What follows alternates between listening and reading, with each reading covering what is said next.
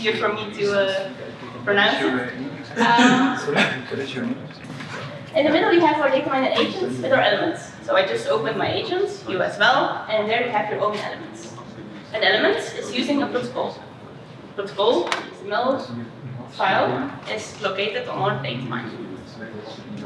My element communicates with devices, uh, third-party devices, have some data in there, um, but you can also have some communication, some interaction with our DIS.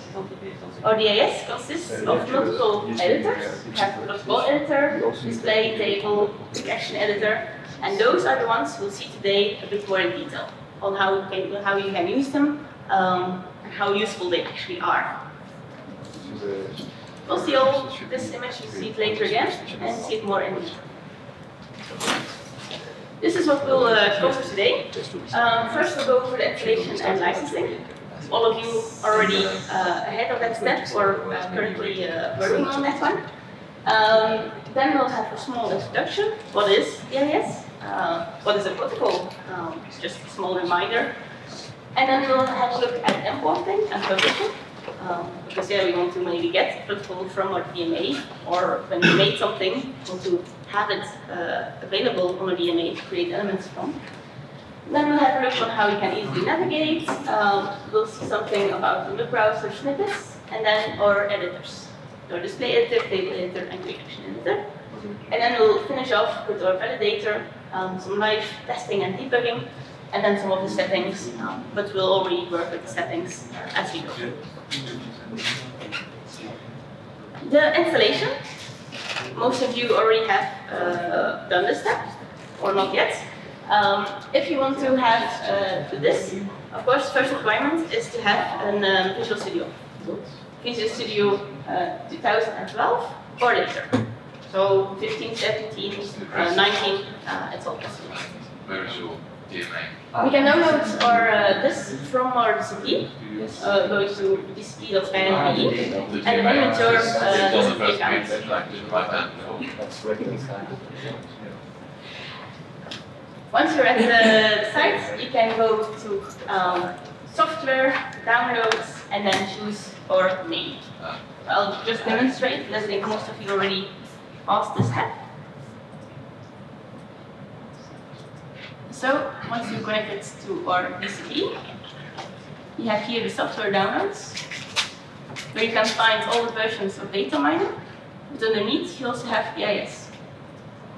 And there then you choose the main, uh, main release, and the one here at the bottom, you can just double click, it will download, and it will im- immediately run. So there's no need to open Visual Studio, and from there install it, just double click um, or exe, and it will run for you.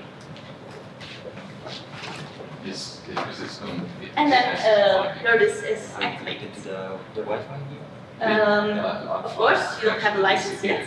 Um, there's one license for every developer seat.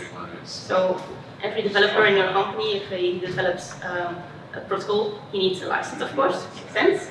Um, and it's linked to personal uh, DCP accounts.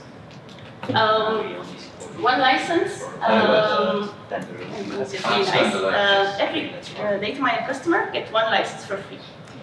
Um, so you can have one dedicated developer, you can already use uh, DIS and license. As soon as you have uh, more than one, um, you can request one from a nice planning team. And it's uh, an annual fee. Now, what is DIS? DIS is a um, Microsoft Visual Studio uh, extension. So it's a plugin um, to actually allow uh, us as a developer to develop, this is nice, sales, just it, it allows us to develop faster, more efficient, uh, less prone to, to errors. Um, yeah, and, and I would say personally my code is better using DIS. Why is that? Well, we'll see in, in detail. But if we have snippets, for example, that allow me to add codes already pre-structured, well, if I need to type all those letters, all those those numbers myself, well, there is more chance to have errors in there. instead of using them as snippets. Um, we have a validator. So before I publish my protocol to my DataMiner, I press that validator button and it immediately shows me where I did maybe something wrong. We even have, again in more detail, some color coding. What errors did I make that are critical, minor, major? That's really useful. Oh yeah, reducing the chance of errors. Um, it's something you, you, do, you don't want errors in your DataMiner. Um, so using the DIS uh, can definitely help with that. And talking about protocols, protocols drivers, we'll use those two words. Um, what is the driver? Um, driver an XML file. And in that file, we specify how our DataMiner or software, um, how it communicates to a certain device. For example, we have an FM device, we want to communicate to that. Well, in the driver, we specify uh, how that's done. Okay, um, what data do we want to retrieve from the device? We also specify how we want to display that data.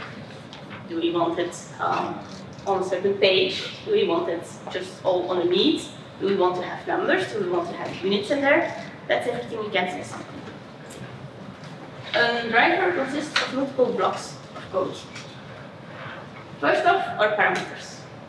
This is where we define what we want to retrieve from the device.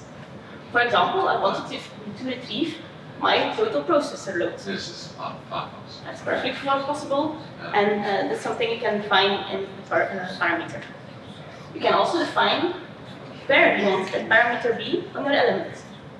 On which page, how it should look like. You can define, for example, some units in there. You can also specify, okay, for example, my processor load, I want a lid bar. That's everything specified in those parameters. Once we have our parameters, we can add groups.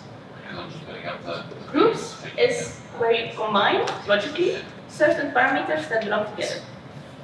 Because once you have those groups, using a timer, you can then call those. With timer, periodically, for example, every one minute, I want to have all my um, information regarding my boot time, the time sync to be good. I group those, and I add them to a timer. So this already allows me, I specify what I want, I specify when I want it, it gives me already some data. Of course, yeah, it wouldn't be a Skyline if we come to a bit more than just getting data. We also want, for example, um, have something happen with certain event. For example, I press a button and something should happen. For that, you can use timers and actions. A timer, uh, yeah, sorry, sorry, exactly. a trigger. A trigger and actions. Um, so a trigger is to specify that it's a lightning bolt. Something happens, and action you specify what should happen. So for example, if I press a button, or if my element starts up, this can all be defined in a trigger. And then action is specified, okay, once my element starts up, then I want to get my first uh, load of parameters uh, called, for example. And at last, we can finish with uh, the QActions. And this is where we can uh, add some uh, C-sharp code in the protocol. Um, allow us to do some bigger calculations. Um, with actions, you can, for example, add one to your parameter. Number one uh, adds one every second, for example, have a counter. With QActions, for example, you can do a bit more. Uh, if you need to do heavy computing, um, if you need to fill in, um, if you have a table, you need to uh, convert that table to something else, that's where you would use uh, our C-sharp parts. Of course, this is not a training, no, not a um, protocol training. Let's focus back again on our uh, DIS, but I wanted to have already yeah, a reminder of those basic blocks because they'll uh, come in handy when we see uh, some of the features. Once you install DIS, um, you can see it at two things. First of all, uh, first of all, in our menu. In the menu, menu you'll see that DIS uh, word in here, and when you click it, we have a nice drop down with DMA, some of the helpers, uh, some of our nice tools, settings, help, and so forth. And then underneath, this is when you have your protocol open, we'll do that in a second, you'll see our DIS ribbon. where you have that header page I was talking about, um, the display editor, table editor, and on publish button. Again, you'll see this all more in detail, um, but these are the two areas uh, we'll focus on. Maybe a quick interruption. Uh, the DIS menu, if you have Visual Studio 2019, is hidden behind an extension. uh, they decided, Visual Studio decided to change the location. But however, in the next version, uh, I don't know, that's, uh, that's yeah, the okay. new UI of uh, 2009. okay. Too bad, because it's nice to have directly access. Um, yeah, I have to, have to give an click there. Thank you for the note. So let's just forget about all the possibilities and go over them one by one um, to really test it out. Um, I'll mention them, I'll show them as well, and you can follow along um, and play around a bit with it. Um, again, as long as you focus on your own protocol and your own uh, version, um, you don't override uh, the other users. Um, first step is uh, importing. But first I want to verify this everybody has a license already? Yeah? Okay, perfect, almost? Almost. Almost, okay. But uh, if it's okay by you, I'll Yeah, yeah, carry on. yeah, um, my colleagues will help you out. This was if uh, you wouldn't have a license yet. Um, then you need to have, go to our DIS settings. So in here, DIS settings. Um, and try to log in for the first time with your DCP account. Then my colleagues will get a notification. And if you send a mail, um, they'll activate it for you. But that step we already passed, which is great. Now let's go to the next step. What I want to do is I want to get um, my protocol from my DMA, red.sky.be. I want to have it inside my Visual Studio. Of course, one way is to go to my DMA and then open that protocol there, right click, and then you can either download it or you can select the text and save it somewhere and then open it in Visual Studio. But that's already quite some steps. That's why we have the nice import. Of course, before we can do an, export, an import, we need to specify to which DataMiner we want to connect, and from where we want to have that import. So first of all, we go to our DIS settings, go to the first step, DMA, where you fill in the host, which is either the IP or the host name from our DataMiner agents. In our case, it's red.skyline.be. User credentials, so user 0102, and the Inspire 2019 two exclamation marks. With this nice button, you can test the connection. If it's successful, great. Don't forget to press OK to save the settings. And the go to our DIS DMA connect. If our connect is uh, grayed out and the disconnect is uh, black, it means you're connected. Okay. We're all there so far? Yeah. Yeah. Okay, perfect. We have a connection. Establish a connection between our Visual Studio DMA. First of all, we want to import our protocol. DMA import protocol. You can all follow along if you want. When you click there, you will have a pop-up where you can have an entire list of all the available protocols on your DMA. Of course, in our case, Red.skyline.be is just um, available for this uh, training, so there's just two protocols. There's one um, that Joey will use in a later session, um, and the other one uh, is something I provided, and that's one we'll use in DIS session. So we go to DIS DMA, I'm connected, import protocol, and let's go for the Inspire this protocol. I'll choose this one, but you again can choose your own version. With a simple press import, it immediately opens. So there's no need to go to my DMA, to copy it from there, uh, paste it, save it somewhere. Just a few clicks, and you already immediately have your protocol. Once I have it here, I can do some modifications. I can add parameters in there. You'll see it later. I can do some tweaks. And once I'm pleased with what I have, I now want to export it, have it uploaded in our DataMiner agent. Again, you could save it somewhere on your local, um, yeah, on your local location, uh, and then via the agent itself import it from there. Or we could use our publish here. I have here in our DIS ribbon a publish button, and if we click that one, immediately my uh, protocol will be saved and will be updated in our DataMiner agent. Of course, now I didn't do any modifications, so you don't see it, but in the next exercises, you can play around with it, upload it, and you'll see that um, on the DCP, uh, sorry, on the DMA, your element will restart. So if you publish it, of course, yeah, you have a new protocol, um, or update, updated protocol. It will restart the elements. You see it go down, up again, and you'll see that changes in uh, your element. Yes? But if you change the version Yeah. and realize that Mhm. you need to load that one first, right? If you change the version, um, maybe you can do it. Um, maybe I'll, I'll do it for you. You can play around with that. If I change the version and I make a um, 2, for example, 2001, I'll publish it. What will happen in my DMA? If I go to my list with all my protocols and versions,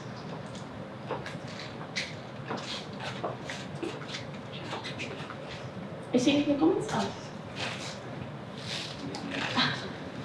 There we go.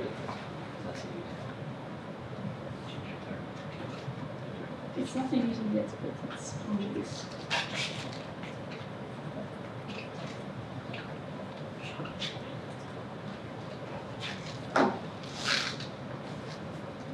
It immediately appears in here. Of course, in my element, it's not updated because that's still using the old version. But at least your new version is already on the DMA, and then you can just Set it to editor elements, uh, edit, and then you can select um, the one here. Immediately available by pressing that um, publish button. So we saw one way as well to import a protocol by using or import. Of course, there's uh, other ways. If you have something stored locally, um, you can open file uh, and open a protocol, a protocol to edit. It's perfectly fine as well. Um, or if you want to create a brand new protocol from scratch, you can also uh, new file and start from blank. Or when you have DIS installed, we also have some nice templates. File, new file. In the general, you have now DataMiner. And there you see two templates, one for a protocol and one for an automation script. I got uh, heard here that you also play around with automation script. Well, with those templates, you don't need to start from scratch, but you can already, you can try it out, open one, and you see the entire structure of your protocol already.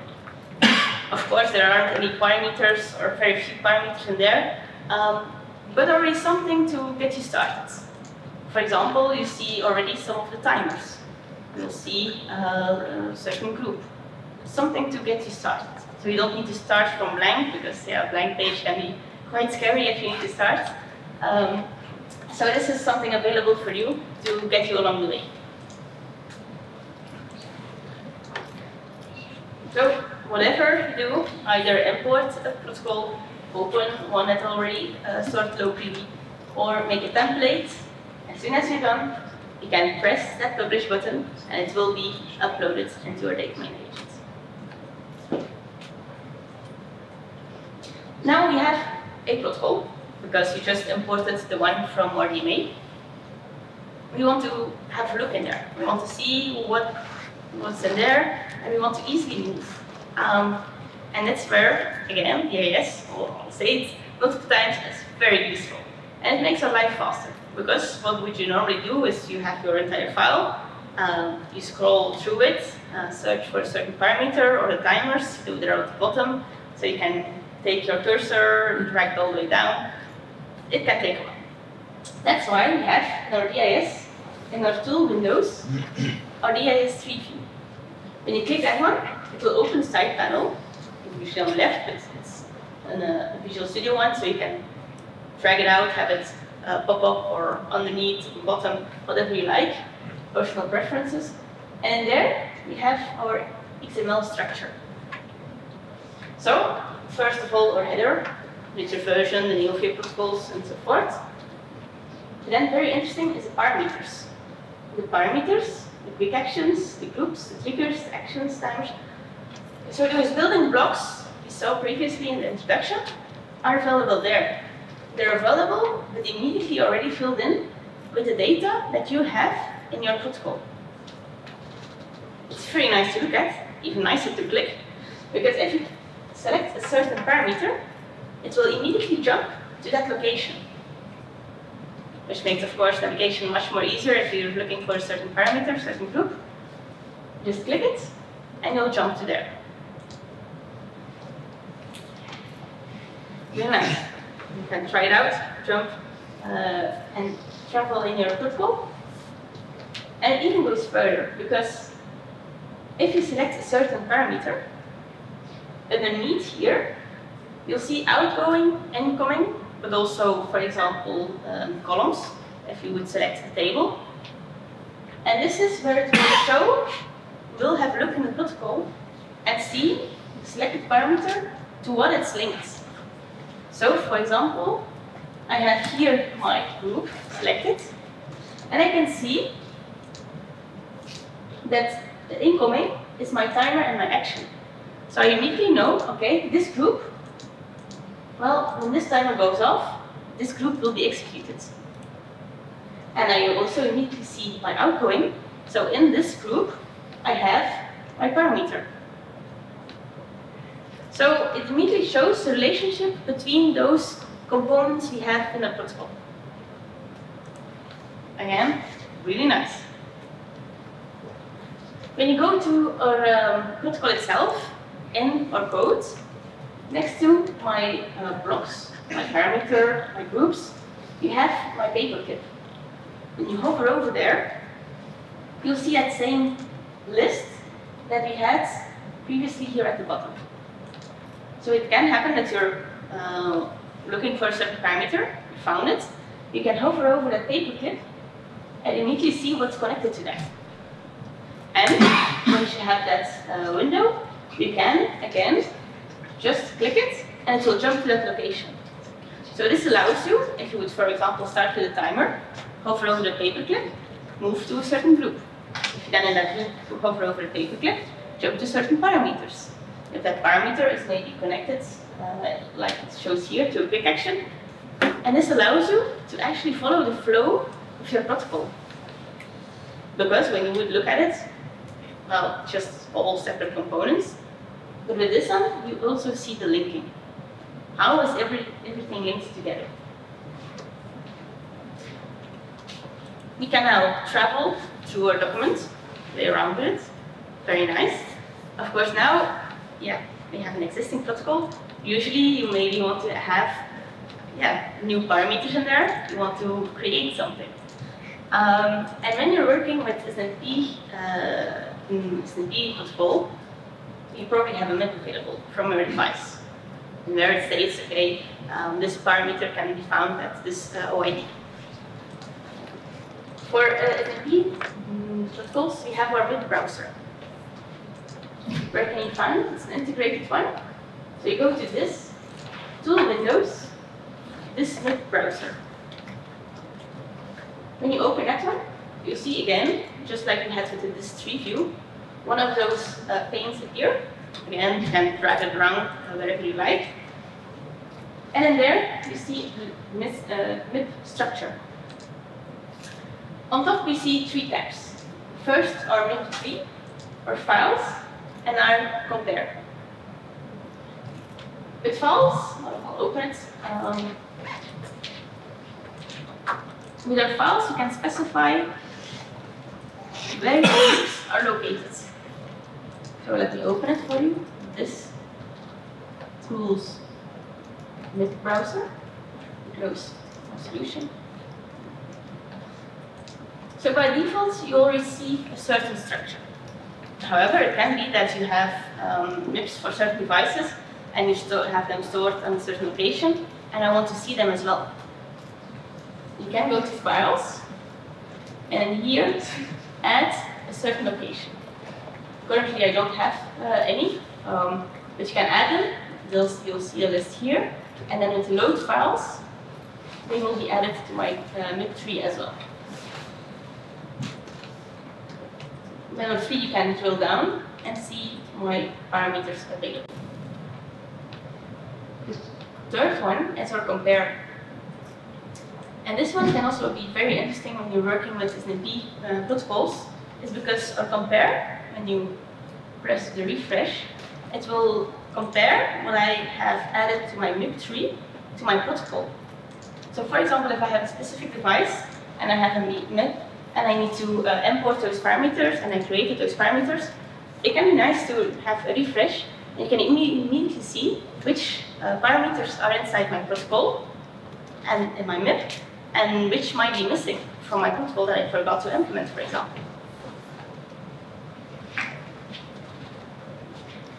When I go back to my MIB tree, and I select a certain uh, item, for example here, my object, object ID, underneath you'll see some information.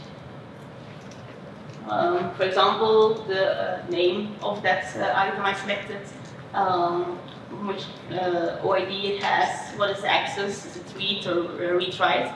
This immediately allows me, if it's just a read, well, then in my protocol I don't need to implement the write because I know it's not available. So this uh, again can help me and guides me with the creation of uh, my parameters. Of course, it's nice to look at, but again, we go one step further. We want to add parameters. So what I could do is I put start typing.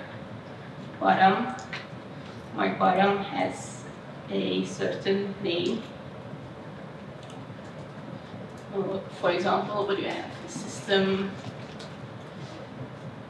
description, of course, it will take me forever. So, when we have our MIB browser, what I could do is, okay, this is the one I want, so I can easily drag and drop it. Drop it, there you go. This, again, for me, generates my entire structure. Of course, this is not totally complete. Um, of course, we're hoping that our MIBs um, that we get from the devices are perfect. However, we're not so sure about. So that's why we have some highlighted um, blocks, some placeholders. Those uh, are some that we still need to go over. For example, I need to give a certain ID to my parameter. This needs to be uh, unique for my entire protocol, so it's something I need to uh, something to fill in myself. For example, just a big number, 4,000.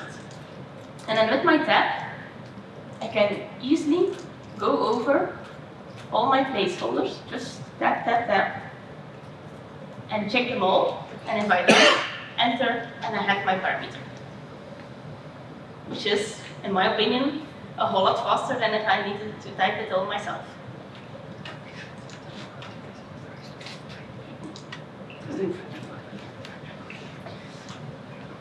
So, very nice.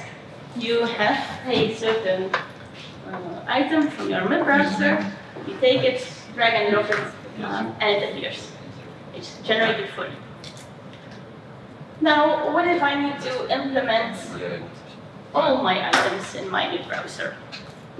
I can take one, drag and drop it, take the next one, drag and drop it, take the third one, drag and drop it. Of course, as a developer, I'm not doing monkey jobs. I want it to be faster. So, again, we have our nice feature. It's not, you would expect to multi-select, uh, but that's not possible. But we have, if you go to a certain location, if you right-click, uh, you have generate parameters. You click generate parameters, you'll get a wizard. You can choose where you want to have your input from. In this case, we're working with MIBs, so I'll just leave this one. Let's go to the next step. And here, I immediately have a list, the same as you have here, there are three, of all the parameters. This allows me, well, I want all these parameters, for example. And maybe that one as well, and that one as well. It allows me to multi- multi-select parameters and immediately include them. And even a step further, because we're not just adding those as a parameter, Yeah. we can also immediately add them to a group and a timer. So if I have those selected, let's go to the next one. Of course, I need to specify some IDs. You don't need to specify it for everyone individually. I'm just saying, okay, start with uh, 6,000, for example. Next. It gives you the suggestion. You can change it if you like, but I'm quite pleased with that one. Let's go to the next. He asked me for a timer. I don't have a timer yet, so let me add one. I want a timer for um, every five seconds. I'll can give the name, an ID, so just keep it as this. Next, even groups. It's even it even generates for me my groups. You can select uh, in which timer you want to include them, for example, like this. And let's finish it off with that. So just using those wiz- wizards, I think I maybe clicked uh, 10 times max. If I have a look at my this tree, you can immediately see all the parameters I added. Not even the parameters, but even, because we have that nice linking, um, I can see my timer in here and my group, uh, which was created.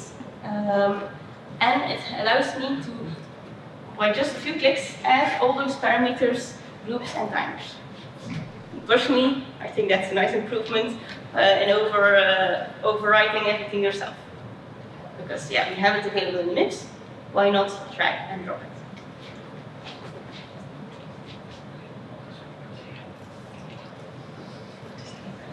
So our MIB browser, very useful.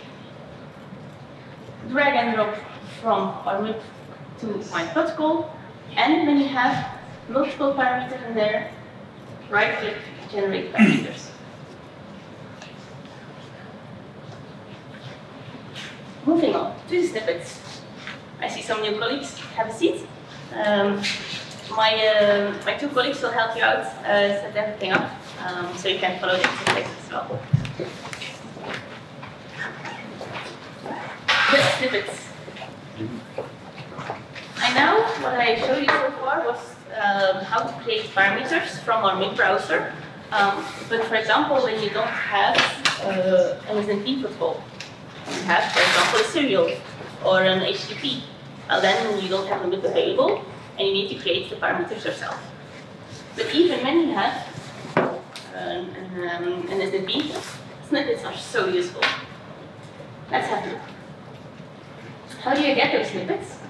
When you right click in a certain area in your protocol, and right click, insert snippets. And there you'll see those snippets and a nice uh, selection that you can choose from. I'll immediately demonstrate.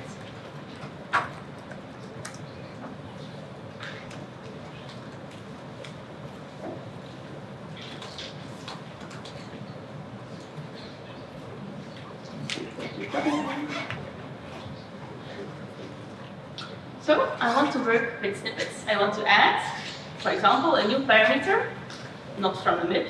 Mm, I want to have uh, a button, for example. Just a button.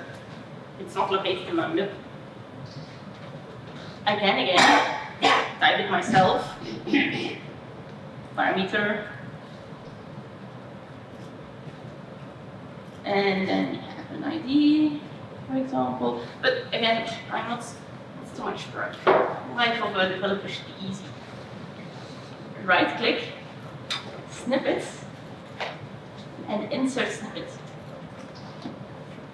And in there, well, I'm working with this, so let's do this. Working on the protocol, again, an automation script. We also have nice snippets. Can be uh, good to remember. We select protocol. And then there I have my entire list. As I saw in the introduction, we have those building blocks. We have our timers, or groups, or parameters. These are all as well integrated in my snippets. But I mentioned I want a button. Okay, a button, it's a parameter. So I select my parameter. You'll see here an entire list of possibilities. For example, a basic parameter, the button, that's the one I want. We have a display parameter, um, a whole lot of possibilities. Even if you're working with matrices, there's snippets for that as well. Let's select per button. As we saw before, we have some highlighted placeholders. That's something I still need to fill in because my snippets has no idea what I want to do with my button, but I think that makes sense.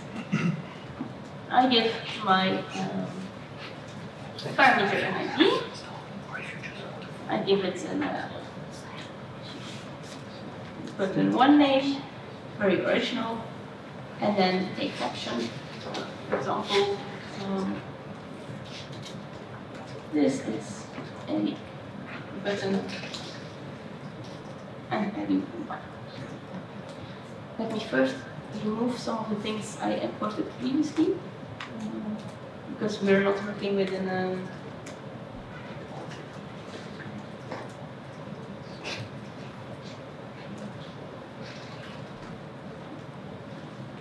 those. Those are also things can remove.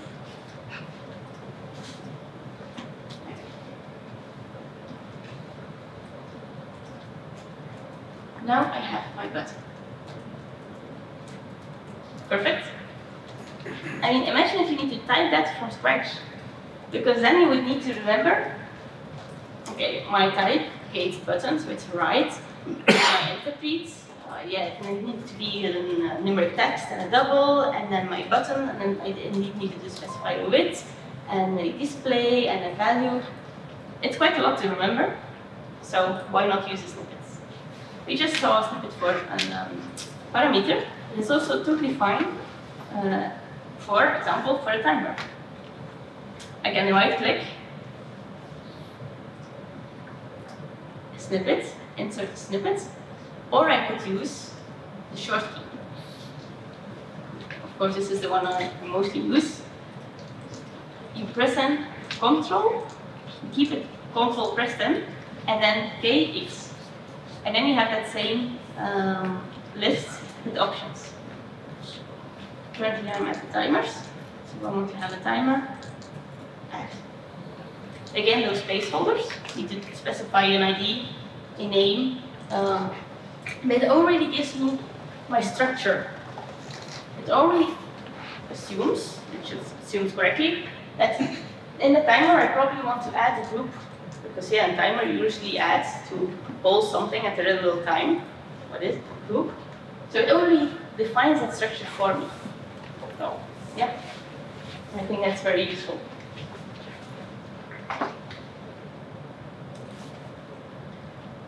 Some of the other examples, I think I uh, mentioned already quite some. Um, the protocol, what we saw, I now uh, chose for a button snippet, but if you, for example, choose a, a display parameter, that's something uh, you'll see here. Um, it's a read. Um, it has article display true because you want to then later display it on a page. Uh, some ways of displaying, in this case, it's just number, but it's something to uh, get you started. Same for a session, for example. When you're working with uh, HTTP, um, you're not just calling something from a uh, device like we have with the web browser with SNMP. You'll start the session. We have a snippet for that. So you don't need to remember it all by heart. Of course, if you want, be my guest. Um, but with those snippets, it immediately gives me the structure okay, I have a session with connection and request, and there I have my get, my post, um, and I just need to specify what I want to do with it, but the structure is already there, which for me, I like it very much. These are snippets for my uh, XML code. Um, I mentioned before, but you also have a part uh, C Sharp. Um, even for the C Sharp part, you have snippets. Um, we'll come back to that later on uh, and see um, those QActions.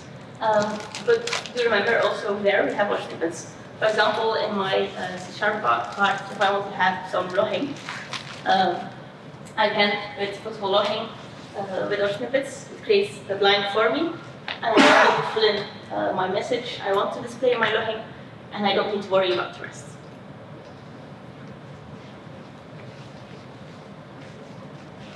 All right.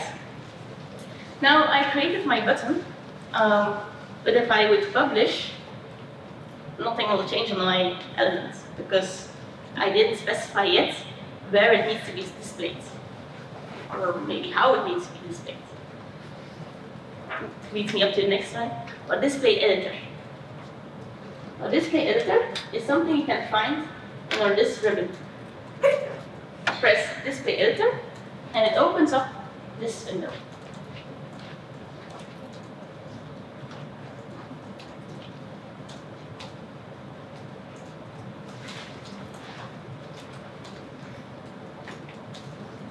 Display editor.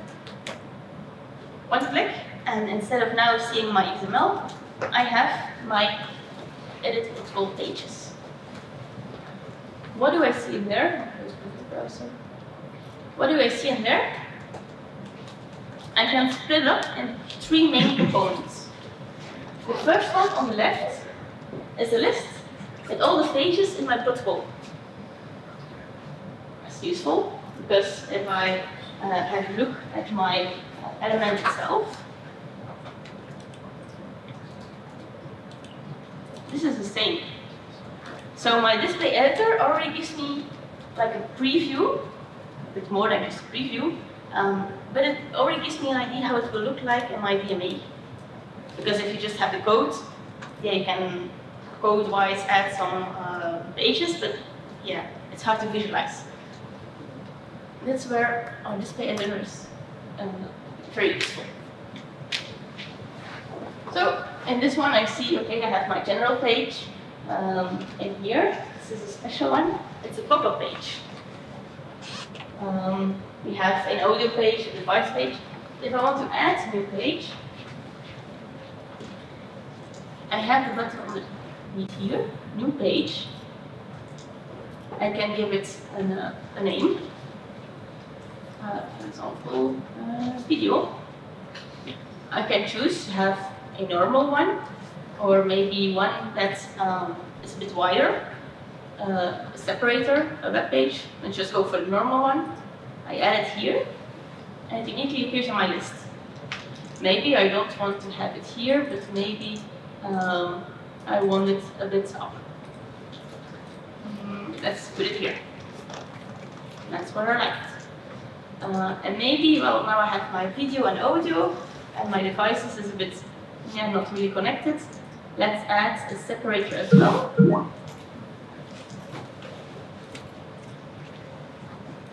Move that up as well. That's something I like. I created my new page, and you see here my layout. All the pages I already had. You see my parameters, my name, serial number, time, with my new page, you see here by the exclamation mark, there's no parameters yet. Let's change that. And let's add my buttons, for example. On the right, you'll see a list with all the parameters for my protocol. My button is this one. Okay. Simply click, add, and drop. That's all I need to do to add my parameter to my page. Let's apply the changes. Yeah, don't forget to apply it, because if you would just cancel it, everything you did uh, would be gone. Apply changes and publish it. Of course, I need to publish it on the correct version. Let's leave it like this. in my DME, of first,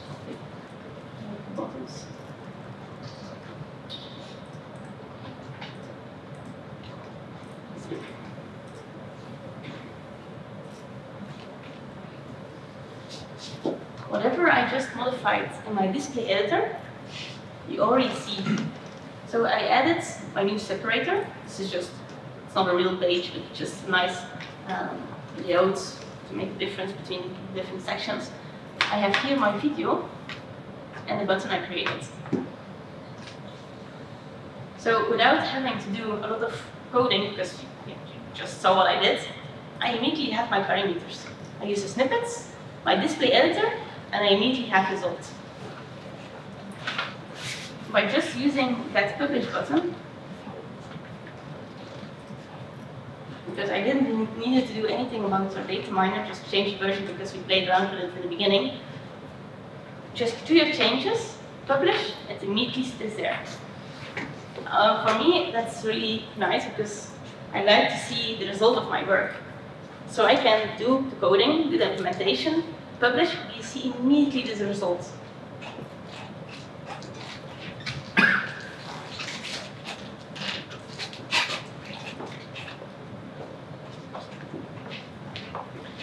So on the left are pages. New page and add the pages. Um, see the difference between a regular page and a pop-up page. On the right, we have our parameters, all the ones we are, uh, have available. Um, underneath, you'll see a filter. There you can select, for example, I only want to have um, my parameters that I put uh, display true, so that I want to display, oh, you can play around with that. And then you take those, drag and drop them, and you have results. With our display editor, it's, as I mentioned, it's not just a, a preview. You can also do some editing with that one. The parameters here in the middle, you can, again, with some easy clicks, enable, for example, my trending. Now, if you saw it, it's a small change. But if you have a parameter, you have some icons, the trend icon, and a monitor icon. So if you click those uh, icons, you immediately enable it for trending and uh, monitoring. So again, no need to, go to the code uh, and, and, change it there. Click those icon, icons. Don't forget to apply change, of course. And when you apply those changes, your XML code immediately will be updated. Where it will say, okay, my monitoring is enabled or my trending is enabled. Next to those alarming and trending, you can also, if you click a certain parameter, do some small edits in there. For example, if you have your page and you say, okay, this parameter, I thought I gave it a nice description, but it's not so clear. Let's change it. Can click it open, change description, or you can, for example, change units, uh, change the range. If it's a percentage, it's nice to have a range from 0 to 100, for example. Some things you can do in our display editor. Again, oh, probably the third or fourth time I mentioned, don't forget to apply the changes. Because if you do an entire configuration, uh, add pages, add parameters in there, some changes, and you forget to press the button, and of course all your notifications are lost. Um, but yeah, it becomes a habit to press it as well. As I mentioned, you have here the param, uh, the uh, pages and uh, those parameters. If you press and apply change, it will close our display editor and you'll see your XML code again. It's also possible if you uh, click on a um, parameter in your uh, layout uh, center content here, right click it, you can go to XML and this will immediately apply changes and go to that location for that parameter. So if you want to do some configuration that's not available in our display editor, you can right click go to XML your changes will be applied and you'll immediately jump to that correct location for that parameter and in there you can um, do some more tweaking.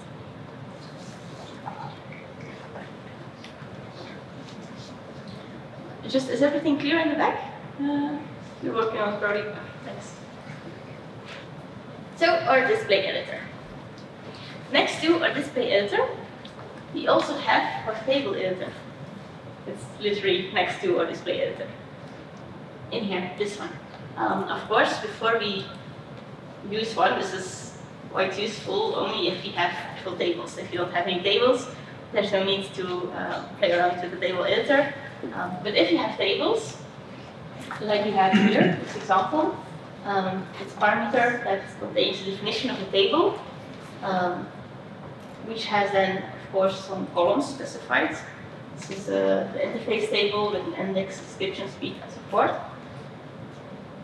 If I either click this editor, this is one way to go to it, or if I, when I have my parameter, my table, click the arrow next to my table, you can also go to edit table and it will open our table editor. With that arrow, I just wanted to add as well, um, it is possible to have some nice uh, features in there as well. For example, you can immediately add a column, which then adds it uh, underneath as a new parameter uh, in the table, or you can choose to include that table in a certain group, or generate a new trigger or a quick action, just similar to that snippets, but it immediately gives you some suggestions uh, you like um, to have some linking with the table. Let's try it out.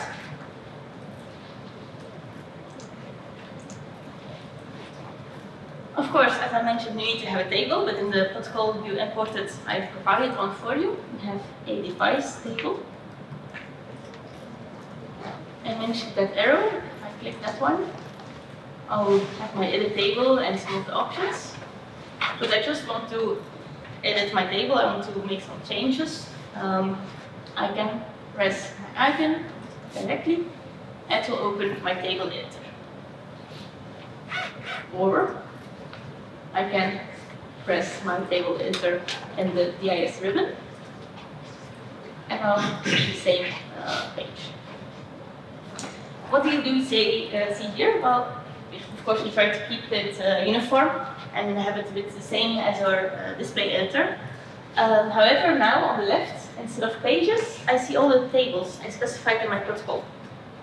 Uh, in the import um, protocol uh, for you guys, yeah, there's just one table, um, but that's enough to play around with.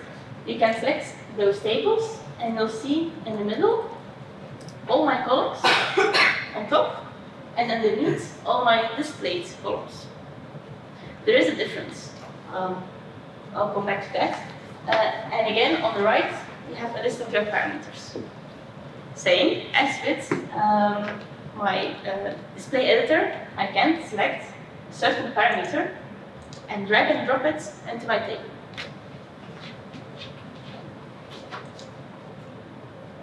For example, I have my, now it doesn't, doesn't of course make sense, but let me add my serial number and you'll see it's been added in here. My name, drag, drop, and I immediately create a column for that table. Without having to touch the XML code, drag and drop. In there then I need to specify which type it is. For example, is it um, SNMP? Um, you'll see here some received types because um, we're not working with a simulation on our DMA. I'm just hard-coded filling in some data. So, um.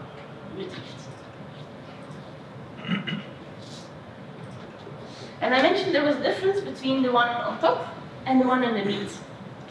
The one on top are the columns in my table. So for example, you can have a really big table with hundreds of columns pulling data from the device.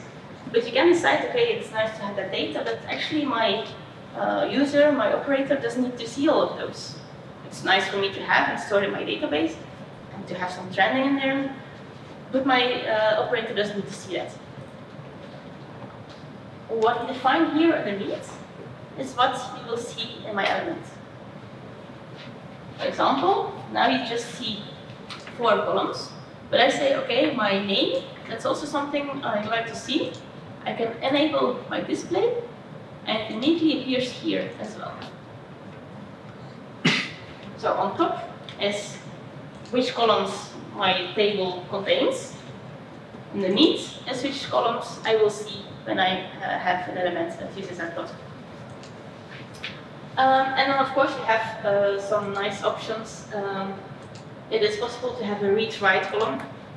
Uh, you'll see it here. Okay, you have uh, for that column with index3, you have a write text to it. We can change the description in our table editor, and if we then apply changes, it will be adjusted as well in our XML. Uh, as I mentioned, you can specify if you want to display it in a certain type. You can choose to save it. Um, can be nice. Uh, for example, if you then restart your element, um, you need to see your data already. Of course, when you're working with an actual device, um, yeah, you want to have it in an exact representation. So if it, there's something wrong with the connection, you'd rather not have data in there, but you can see, okay, I don't have data, and then you can investigate. Uh, but it can be a nice option, save. Uh, if you're working with some relationships between tables, you have color keys, quite some options. For the one on top, for the one uh, at the bottom or display columns, of course it's more specified to my layout. For example, okay, I have a certain column, what needs to be the width of that column? For example, I know it will be a, long string value with quite some characters, maybe we can make little bit wider. Um, we can choose to have uh, histograms heat map. Again, those two icons with trending and monitoring are also available here in my table. At the end, we can uh, choose a certain sorting. For example, I want to sort um, by date, or I want to sort by name. Uh, it's all possible here in the one at the bottom. At the bottom, everything related to layout. On top is more the, the yeah, which data I want to retrieve.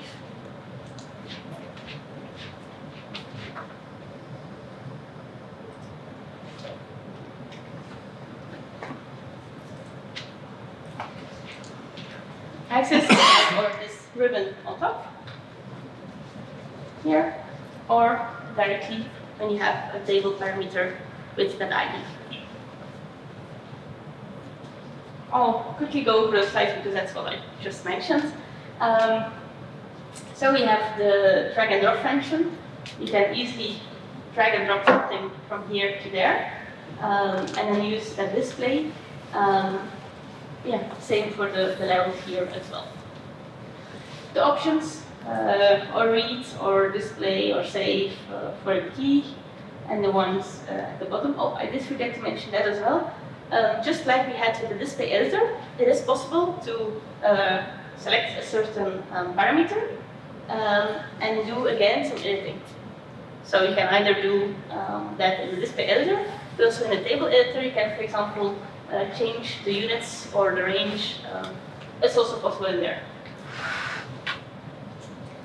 And then the options here with or with uh, histogram and alarming and trending.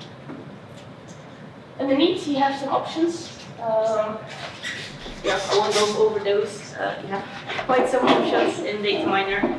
This is just getting started, so uh, let's move to our uh, quick action uh, uh, quick action, one say Q action, quick action. Now, what is quick action? I mentioned this before. It is possible to have some C-sharp code inside my protocol. Um, how do we do that? Well, again, you can type it, but I would recommend the snippets.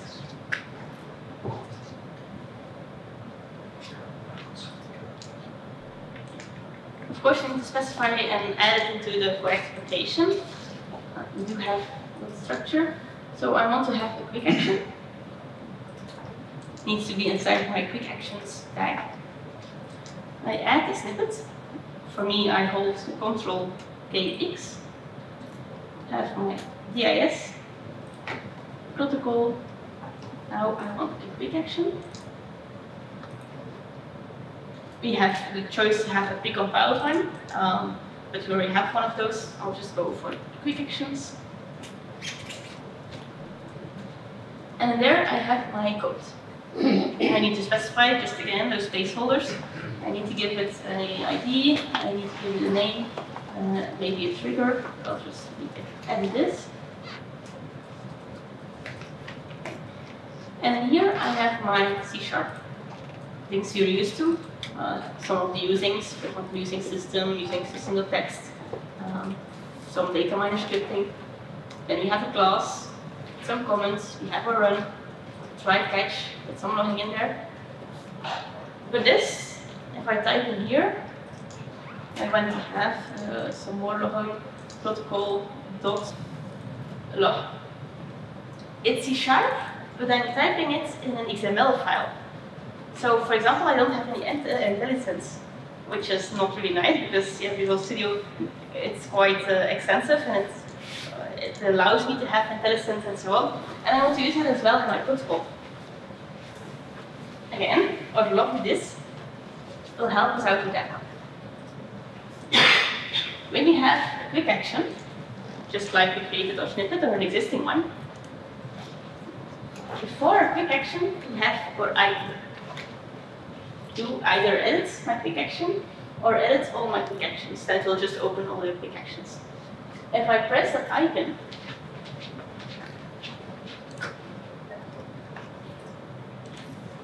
so the one I just created, If I press that icon, that's what you say. Let's just here. What will it do? It will open up for me a second file. But this time, yeah, it's not an XML file because that's what my protocol is defining. It will open a CS file. And this CS file allows me to actually use the features from Visual Studio. If I type, for example, um, I want to have a date, you immediately see that selection. The IntelliSense, okay, I have a daytime, uh, time equals, and so forth. So by using that icon, here, the QAction editor, it opens my uh, CS file.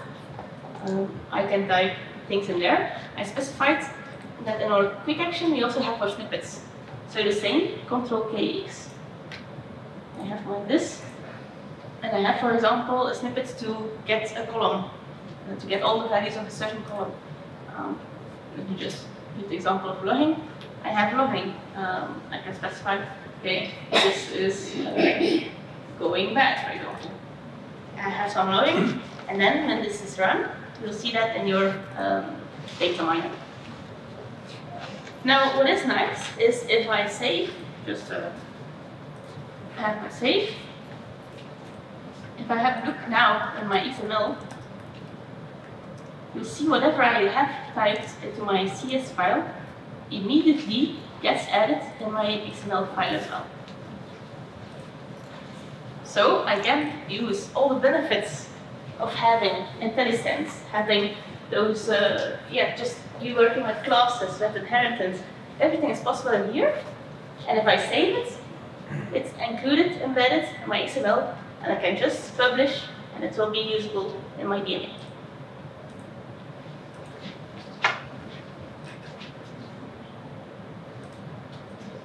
And of course, you can realize uh, once you have that CS file open, it's C sharp, so your imagination is the limit. You can do uh, whatever you like in there, um, program-wise.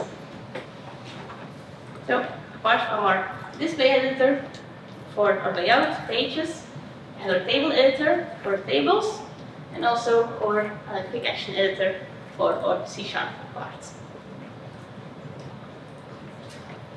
So I did some things. I added some parameters in there. I added the page. I modified the table. Have some uh, C sharp. Of course, I might have quite uh, a lot of confidence in my uh, ability to write awesome code. However, it doesn't hurt to validate that. Um, because I might, in my uh, enthusiasm, miss something or mistype something. The validator, integrated validator. So here our display editor, table editor, publish is also here yourself. The first one is our validate. if you press that validate button, automatically underneath your protocol, you'll see our this validator. What can you see here? I mentioned this very briefly already. This is everything that might be wrong in your protocol. both XML uh, syntax. For example, if you forgot to close a certain tag, um, it will uh, display here. For example, if you have uh, two parameters with the same uh, index, with the same ID, well, we cannot have that, or uh, we don't want that in our DMA. It's also something we catch here. XML syntax, but also they DataMiner logic. This already goes a bit far, uh, more deep, um, but uh, if you have certain um, items connected to each other that are not possible, for example, you have a QAction inside a group, but that might uh, appear in there as well. It appears here in a nice list, and it's color-coded um, from critical, major, minor, warning. These are disabilities you might recognize from your DMA. it is because they are the same. Um, it even goes that far if you change your alarm color in your DMA. For example, critical is purple and major is pink. That's possible. It will change it here as well. So to have it uniform um, would recommend it unless you like pink, for example. Um, but it's nice. And of course, yeah, when there's something missing, in here I have critical missing tag. Okay, I know it's critical. I know I need to add it before my element can run smoothly. Or if I don't add it, my element won't even start up because yeah, it's quite critical. It needs it to run correctly. Uh, yeah, and so it is sorted by priority. Um, of course, yeah, critical, always fix it. Uh, I would can say it. I need to say it fix everything, but I mean, a warning, maybe a minor, you can ignore a bit, but critical, it's. It's critical for uh, for fun. Let's uh, have a look at our protocol. Did we miss something?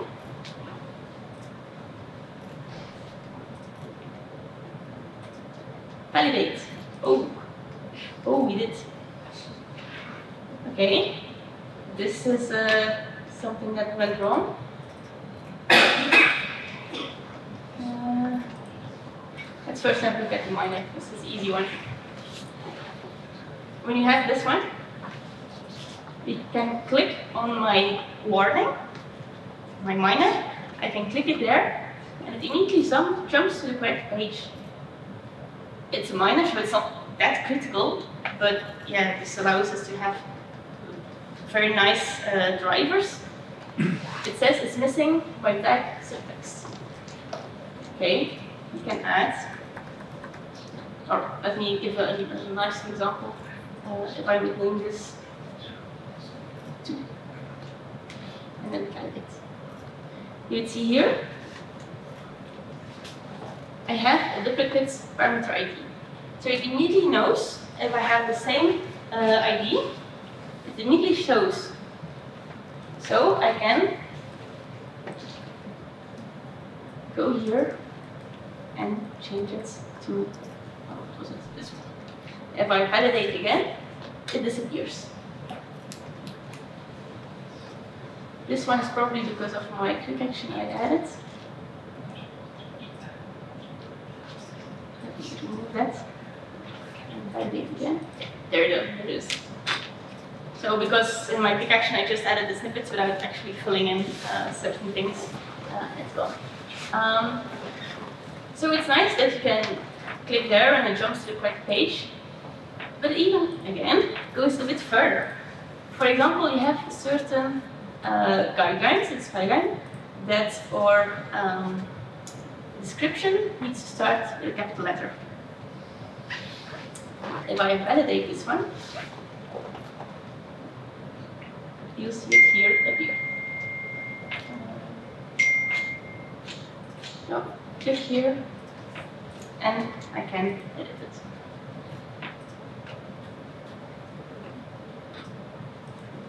Simon, would you know how I can trigger that uh, autofix? For which uh, I was I was thinking it was. Uh, Yes, a space. Ah, yes, exactly. If I validate, yeah, there it is. So, of course, the validator is constantly evolving. Um, some of the checks are yeah already there a while. But as soon as we have uh, newer, um, newer checks in there, yeah, we make them fancier.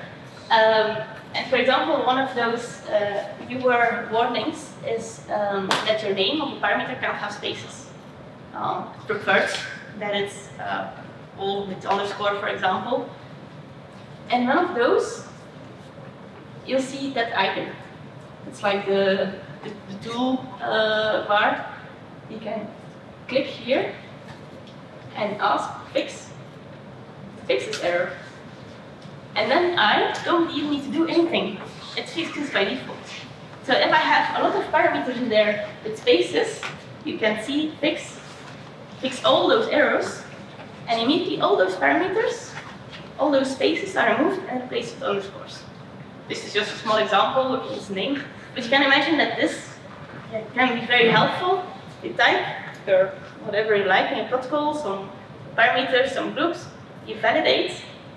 For our developers, we always recommend first validate before publish. Doesn't hurt, just one another click. Have a look, if there's no criticals, no major uh, minors, publish, and you'll see your protocol appear in your DMA flawless.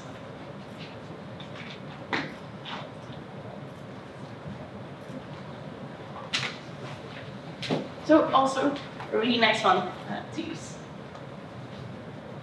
We have uh, refactor. Um, I'll just briefly mention it uh, because it's there, um, but it's actually not uh, really used. This was previously for um, for uh, older drivers um, that weren't according to guidelines. Um, we had a refactor button, but it would uh, fix some cases, add some of the syntax. But the protocols you're working with uh, today um, shouldn't uh, already compliant to the guidelines, so that be fine. but I'm just mentioning it because it's in the ribbon as well. Then the last one is live testing and debugging. This again goes back to our C sharp, uh, part. We had a QActions where you can open our uh, QAction editor, which opens our uh, CSV file, uh, CS file, sorry. Um, we yeah, have some groups, some methods, and so forth, and we hope it works. I mean, again, we're quite confident, we're not 100% sure. We publish it, we run our elements, and we see, oh, it's not that the result we expect. So I thought it was okay. That's why we have our live testing and debugging, to help you out. This is the image you saw in the beginning.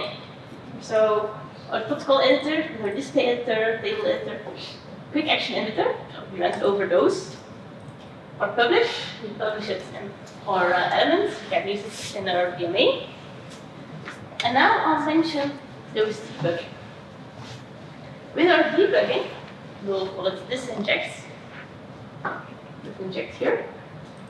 With our DIS Inject, we'll replace the QAction that is run on my DMA with the QAction I have in my Visual Studio. So normally when you have your element, it's running, okay, you have certain trigger, your uh, sharp code is run, all behind the screens, and you just see a result. With my debugging, if I enable that one, it will not use QAction on my DMA, but use the one I have open in my CS file very fancy because this allows me to do quite some nice debugging in there. Now, first, how do we do this?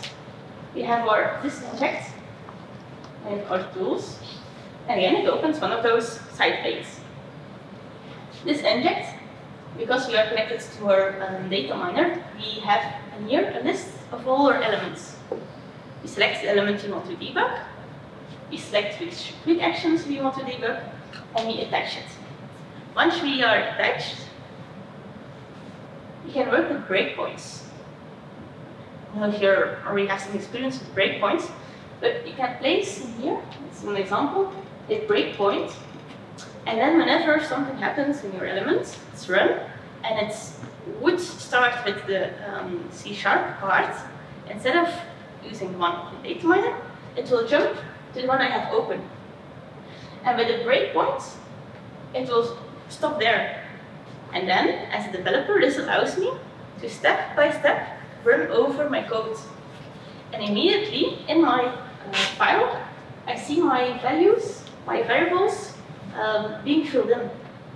So this allows me to step by step go over, okay, I got this value, now I'm doing some calculations with it, this is my result, and step by step, just like you would have with another, any other project uh, in Visual Studio, run step by step. I mean, for me personally, that's very nice, because before you would make add after and between every line of code a line line, so you get follow along. It's quite, quite some work. I see somebody here already uh, getting tired of the thought alone. With this one, inject, and you can run over your code, see immediately what goes wrong or what goes right, um, and change it uh, correspondingly. Last one um, is our DIS settings. And this is just um, me going over all the settings. There's quite some possibilities, but I do want to um, go over them to let you know where you can find stuff. With this, we have our settings. This is something I didn't mention yet, or help. Um, this is not the same as our DMA help or DataMiner help. That is when you would have your DMA and you have the help. This help is very specific to our DIS. So if you ever have a question, you know, open a display editor and you're not sure about a certain option you have in there, with this help, you can look it up. From our DIS help because it's under our DIS uh, menu. When you open the settings, you'll see your pop-up with quite some, uh, we have eight web pages. You already used some to connect to our DMA to get your license. Let's go over those. DMA is first one, where you need to specify to which DataMiner you connect. In our case, it was the Red Skyline OBE. You can have a local host, you can have an IP. You fill in your credentials, or using um, your uh, Windows user, if you have your domain integrated, uh, domain users integrated with your DMA, that's also possible. Test connection is a button. If you click that one, you'll see immediately the results if the connection was successful or not. The next one is our debugging. Uh, debugging, um, we saw that we have um, in our QAction, when you open it, some IntelliSense, um, like our snippets. Well, this is, th those two are by default um, some of our DLL locations. It is possible to have your custom DLL um, added in there as well, and then you'll be able to use it in your uh, QAction. It's a nice option. It is also possible to do some remote debugging. Um, what I mentioned with the DIS Inject, it's uh, when you have an, um, a local system, you can inject it from there. If your DMA would be on another system, you need to enable those uh, remote debugging. So this is debugging everything related to QActions. You need to set that pop-up on like DMA. Yeah, there's a, a, guide. We're going to say that. Okay. there's a certain guide um, to indeed set it up. Then the class library, I want to um, go over this one. Um, this is something you'll see. I'm not, not sure if some of you are following the uh, last session, so the third session of this red path um, with our latest features. This is one of our latest features. Um, you have some um, already code made for you that uh, you can use. Um, interfaces, some personal uh, preferences. Um, would you like to see this description instead of the name? Um, if you want to hide some visual comments, just personal settings you can uh, specify. And the MIB location, um, you saw when you opened our MIB browser, there were already some MIBs in there. Uh, the phase one, for example. Um, it will first look at this uh, location that you specified. Of course, it is possible with our MIB uh, browser, and second step files, to add multiple locations in there um, and work with. This is just the default one to look at. Then DCP. This is where um, you uh, fill in your DCP user um, to get, yeah, of course, your license. you did that this morning. Um, and also to have our updates. Every month there is a new release, a new version of our DIS. Um, if you have this one checked, it automatically uh, alerts you when there's a new version. And you just need to press update and it does it for you. So then not every month need to have a Rohan DCP check which version it is. It's done uh, by default. Um, we also have an insider build. Um, this is for Skyline internally. It's your beta testing. You could do it, but yeah, we don't guarantee it. But um, every beta uh, that we test a month later is already included in the main one. So um, I think we can make the, the ones. Um, or there's also the option to check manually if there's any updates. Uh, others uh, for uh, some encoding. And then here you have uh, the version of the DIS you're using. Um, currently it's 219 you should have, next month it's 220. Uh, and if you want some nice, uh, nice text to read you for bedtime, uh, please find the license agreement in there as well.